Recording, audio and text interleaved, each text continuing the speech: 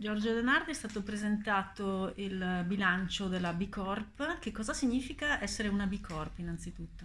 Beh, essere una B Corp è una scelta uh, che si pone praticamente uh, come alternativa alle società profit e a quelle no profit a cui siamo abituati, come uh, un modo di intendere il fare impresa che sta ehm, che mette insieme sia l'aspetto economico, appunto delle società profit, con anche gli aspetti ambientali e sociali e vanno a rendere molto più ricca e completa eh, l'attività aziendale perché si pensa non solo al valore economico che l'impresa produce, ma anche all'impatto che ha appunto relativamente alle persone e, e all'ambiente fisico circostante eh, perché eh, siamo convinti che eh, l'azienda non debba solo pensare al profitto, ma debba pensare a tutto il valore positivo che può generare appunto in termini di qualità di lavoro, eh, crescita del capitale umano, ehm, ricaduta sul, sul territorio,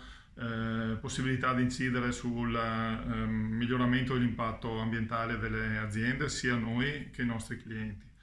Quindi da quando siamo nati già 35 anni fa noi abbiamo sempre puntato su questi aspetti. E adesso con le certificazioni B Corp e con eh, l'assunzione del, dello status di società benefit l'abbiamo anche certificato, normato e rappresentato anche annualmente in un report dove andiamo a descrivere i risultati ottenuti e le prospettive e gli obiettivi dell'anno a venire in modo da avere anche una concretezza poi palpabile, misurabile di quello che facciamo. Che cosa fa Aton e quali sono stati gli step per diventare B Corp? Allora, noi siamo una società eh, che si occupa di informatica e digitale, quindi eh, andiamo nelle grandi, medio-grandi aziende a eh, trasformare i processi organizzativi in forma digitale eh, per eh, ridurre e eliminare quanto più possibile la carta, eh, i trasporti inutili, eh, la, la, dispersione di merci, per esempio lo spreco di merci e la tracciatura appunto dei prodotti eh, attraverso delle soluzioni che vanno a, a governare e gestire appunto la parte di vendita e di supply chain logistica. Quindi con l'informatica cerchiamo di rendere, far rendere le nostre aziende meno impattanti possibili sul, sull'ambiente, ottimizzando il loro processo organizzativo.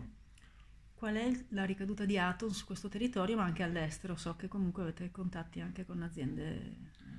sì, allora noi per esempio l'anno scorso abbiamo assunto 44 persone, quest'anno ad oggi siamo già a oltre 30, eh, quindi stiamo crescendo molto, sia in termini di fatturato che in termini di eh, disponibilità di posti di lavoro. Siamo certificati Great Place to Work, quindi siamo eh, considerati uno dei migliori posti di lavoro in Italia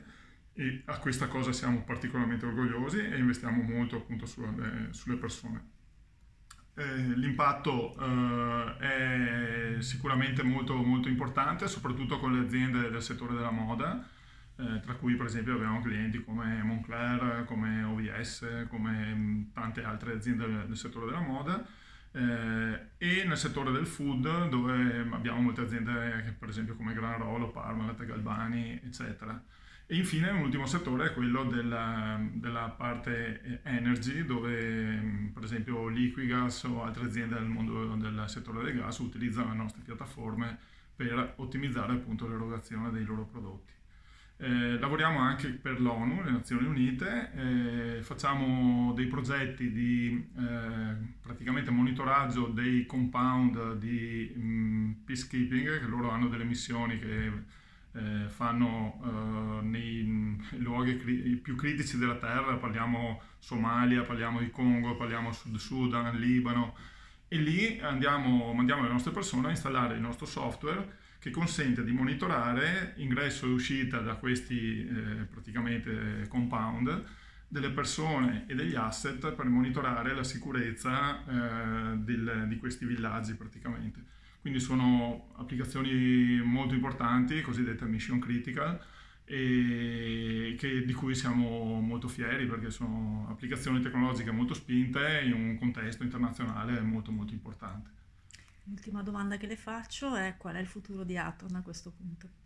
Il futuro di Atom eh, è, spero, almeno altri 35 anni di, di, di crescita e di successi Eh, il nostro evidentemente è un mondo in forte evoluzione, quindi c'è un continuo rigenerarsi di nuove opportunità, nuove richieste. Eh, adesso c'è il tema dell'intelligenza artificiale, per esempio, che stiamo sposa- sposando in pieno, stiamo investendoci parecchie risorse e crediamo nella possibilità di poter almeno raddoppiare le nostre dimensioni nel giro di mh, alcuni anni, per cui parliamo 3-5 anni, vorremmo diventare un'azienda da 50 milioni di fatturato, 500 persone e, e avere soprattutto un riconoscimento, un posizionamento eh, molto forte come il miglior posto di lavoro eh, italiano eh, disponibile. Ecco, questa è la nostra sfida